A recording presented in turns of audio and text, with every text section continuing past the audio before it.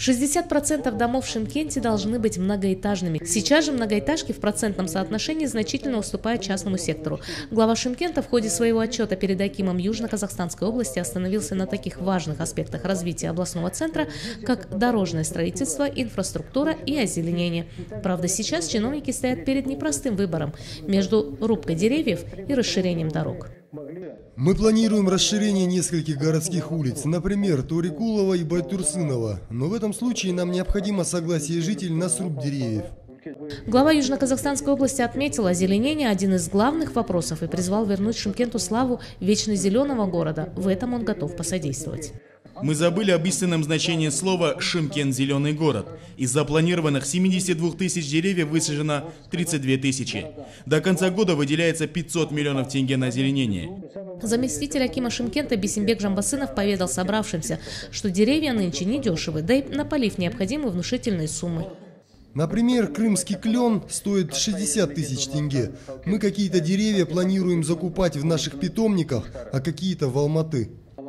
Такой ответ возмутил главу области настолько, что он напомнил чиновнику об однобоком подходе. Почему вы решили закупать такие дорогие деревья? Зачем нам деревня, которая мучается в нашем климате? Зачем гнаться за высокой ценой, когда можно решить вопрос с посадками, если не бесплатно, то за гораздо меньшие деньги? Почему вы не съездите в соседний Тараз или Ташкент? Почему у них деревья стоят высокие и красивые, а у нас из зеленого города мы превратились в город пыли? Даю вам на посадку деревьев два месяца. Досталось чиновникам из-за отвратительное состояние дорог. К слову, Жансит Тумибаев предпочел не доверять всему, что говорят местные чиновники, и привлек к работе независимых экспертов, которые снабжают его информацией как о состоянии зеленых насаждений, так и о состоянии дорог и незаконных карьерах и стройках. А чтобы не быть голословным, продемонстрировал фотографии и попросил прокомментировать их.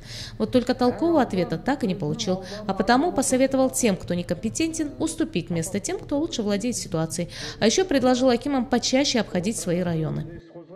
Не надо в галстуках, пешком обходите. Смотрите, где какие проблемы в вашем районе требуют решения. Очистите их от мусора. Посмотрите, дорожные знаки иногда не увидишь из-за разросшихся деревьев. Срок вам одна неделя на это.